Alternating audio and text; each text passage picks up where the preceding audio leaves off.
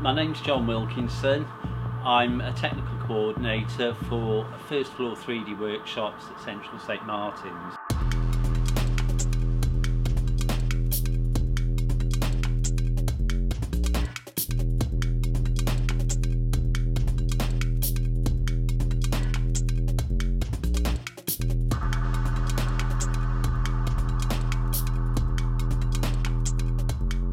I manage a range of workshops. Um, one workshop is called model making and that is typically the area where we use vac forming. I deal with a range of courses, uh, mainly design courses, so that would be things like architecture, product design, industrial design. These are considered our core users, but we also engage with students from other areas, including subjects like fashion and textiles, fine art, sculpture, quite a range of different courses.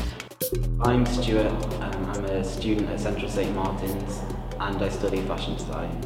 I've been working with the Formech machines to create various different bags and accessories.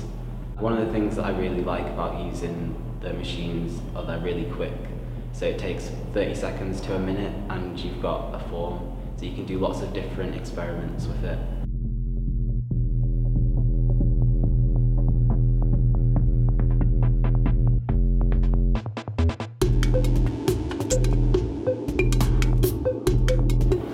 I'm working with um, body parts, so I'll cast my own body parts and then I can go straight to the Formech machines and form the pieces. Our brief really is to engage with students and enable them to make models.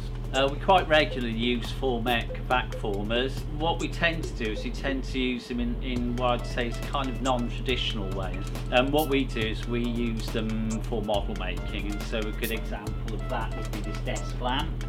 Um, the base components has been um, produced using a vac form as has the lampshade. Um, the original of these would be a wooden plug typically. It would been produced using jelutong, that would been turned on wood lathe and then that would then go on to be um, vacuum formed. This is another example, so this would be um, an architectural model and this section here has been um, produced using vac forms. Vac forming in, in context that we use it in is one of many tools and the advantages of it really are that, that it's fast and that you can do large objects with a hollow section effectively.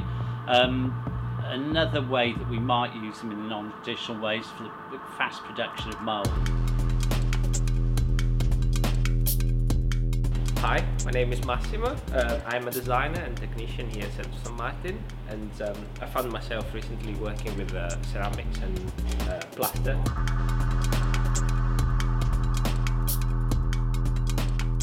At this initial stage of the project, I found uh, the vacuum forming process really useful because it allows me to generate uh, molds really quickly and really in detail.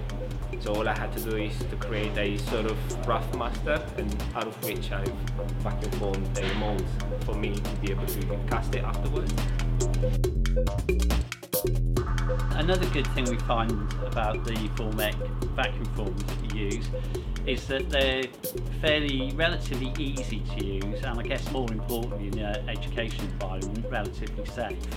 Uh, what we tend to do is we tend to uh, give students an overall induction and then the technicians that work in that area might give them a more specific uh, induction into the use of that machine and then as long as there's a technician present the students can just get on with the work to their heart's content.